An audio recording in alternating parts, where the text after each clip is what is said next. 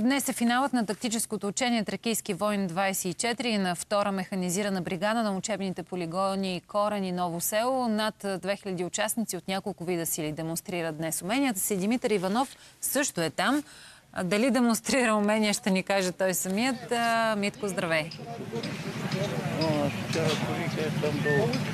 Здравейте от полигона Корен. На мен ще ми е малко трудно да ви демонстрирам това, което се случи тук. Вече приключи а, самата а, бойна част. След малко ще видим всичката техника, която участваше в учението. А, неговият директор обаче, полковник Ивайло Иванов, ще ни каже какво представляваше това учение, колко участници и колко техника имаше в него. А, здравейте! Тактическо учение Тракийски войн 24 е най-голямото учение за сухопътни войски за тази година. В него участваха над 2000 военнослужащи и до 700 единици техника, като учението беше фокусирано на няколко нива и в няколко направления. Основното направление беше подготовка на командни сухопътни като щаб на национална дивизия за осъществяване командно управление на националната бойна група на полигон Ново село и второ механизирана бригада на учение полигон Корен.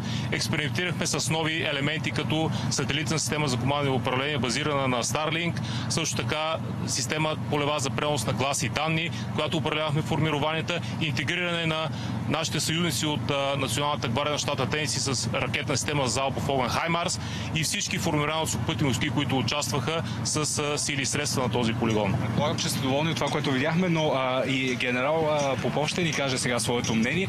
И готова ли е армията ни, а, благодарение на тези учения, а, в какво състояние всъщност? Всъщност вие наблюдавате част от процеса на НАТО по усилване на източния фланг. За нас той, като цяло той започна с формирането на национални бойни групи по източния фланг. В България такава беше развърната с формираща страна Италия, в която участват няколко държави, включително и България, с механизирана рота и офицери щаба на групата. Това, което беше показано на това учение, освен това, което спомена полковник Иванов е следващия етап от интегрирането на националната бойна група в общите планове. Първата, първият етап беше интегриране на тактическо ниво, а сега виждаме не по-малко важния процес интегриране в системата за командване и управление, подблъско командване и изпълнение на тактически оперативни задачи.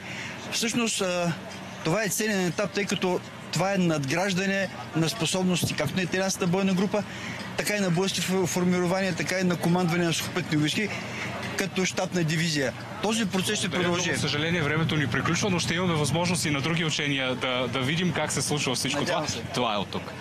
Благодарим ти много, Митко, за тази информация. Уважаеми зрители, с това слагаме финала на днешното издание на Твоя ден. Утре обаче ви очакваме отново, точно в 9. Хубав и спокоен да е денят ви.